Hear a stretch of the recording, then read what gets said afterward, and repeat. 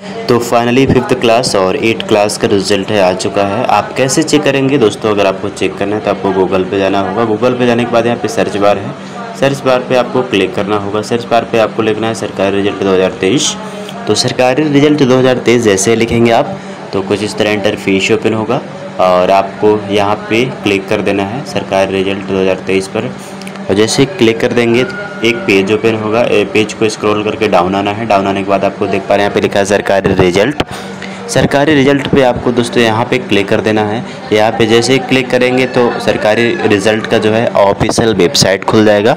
Official website खुलते ही आपको scroll down करके नीचे आना है। स्क्रॉल डाउन नीचे करके आपको देख पा रहे हैं, ये सेक्शन बना हुआ है एडमिट रिज़ल्ट का। रिज़ल्ट पे आपको, जैसे देख पा रहे हैं, चौथे नंबर पे आपको दिखा रहे हैं।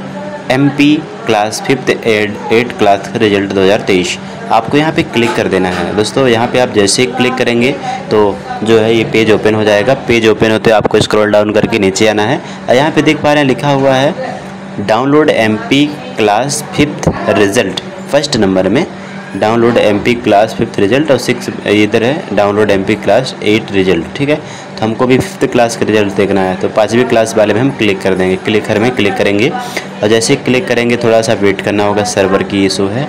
और यहाँ पे देख पा रहे हैं, राज्य शिक्षा केंद्र जो है ऑफिशियल वेबसाइट खुल चुके हैं। अब आके देख पा रहे हैं, यहाँ पे लिखा हुआ है पब्लिक पोर्टल का एक साथ अधिक प्रयोग करने के कारण बच्चों का रिज़ल्ट देखने में परेशानी हो रही है। रिज़ल्ट देखने की सुविधा स्कूल के लॉगिन पर भी उपलब्ध है। अतः रिज़ल्ट के लिए आप अपने स्कूल से संपर्क करें। तो दोस्तों, ये जो प्रॉब्लम है, ये जो है ऑफिशियल प्रॉब्लम है, क्योंकि एक साथ यहाँ पे देख पा रहे हैं, लिखा भी हुआ है कि पब्लिक पोर्टल एक साथ अधिक प्रयोग करने के कारण बच्चों का रिज़ल्ट देखने में परेशानी हो रही है। तो दोस्तों कुछ वजह से जो है सर्वर डाउन चल रहा है तो आप अपने स्कूल से भी पता कर सकते हैं। और दोस्तों, इस वीडियो में हम माफ़ी चाहते हैं आपसे कि आपका जो रिज़ल्ट नहीं दिखा पाए। मुझे नहीं आइडिया कि इसका सर्वर कब तक ठीक हो जाएगा, लेकिन अगर आपका स्कूल से कांटेक्ट है, किसी का नंबर है तो आप वहाँ से भी पता कर सकते हैं। तो दोस्तों आई होप कि हमारे द्वारा एक छोटी सी जानकारी अगर आपको अच्छी लगे तो वीडियो को लाइक कर देना। चैनल में नए हैं तो सब्सक्राइब कर देना। और जैसे रिज़ल्ट आ जाता है, तैसे मैं आपका जो है वीडियो अपलोड कर दूँगा। थैंक फॉर वॉचिंग जय हिंद, जय भारत।